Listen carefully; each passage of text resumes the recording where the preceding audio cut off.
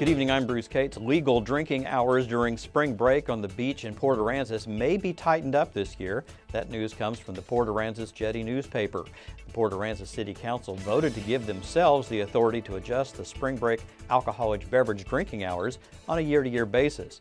Currently, no alcoholic beverages are allowed on the beach between midnight and 7 a.m. and on Sundays until noon. Council will meet February 18th to decide the hours for March. Well, National School Choice Week begins today in Texas and across the country. It's an opportunity for parents to learn about education options that are available to children. These include traditional public schools, public charter schools, homeschooling, and more. In some parts of Texas, open enrollment policies allow parents to select a traditional public school regardless of where it's located.